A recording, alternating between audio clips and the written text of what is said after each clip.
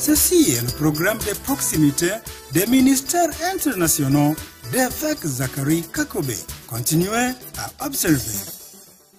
Évêque Kakobe a également conduit un séminaire spécial pour des hommes d'affaires de Lubumbashi sur la façon dont ils peuvent jouir de la prospérité biblique dans leurs affaires.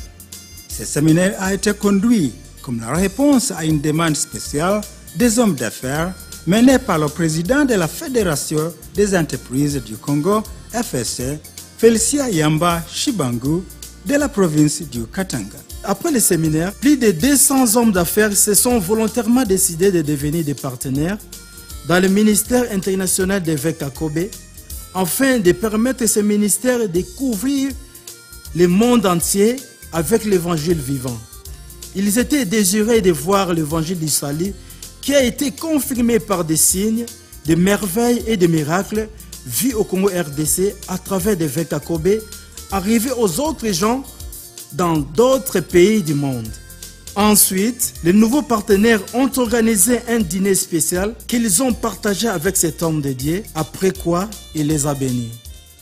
Chers spectateurs, ceci est seulement une partie de ce qui s'est passé dans cette mission. Vous serez encore plus bénis si vous regardez tous les proximités programmes du ministère international d'évêques Zachary Kakobe. Merci de votre fidélité et au revoir.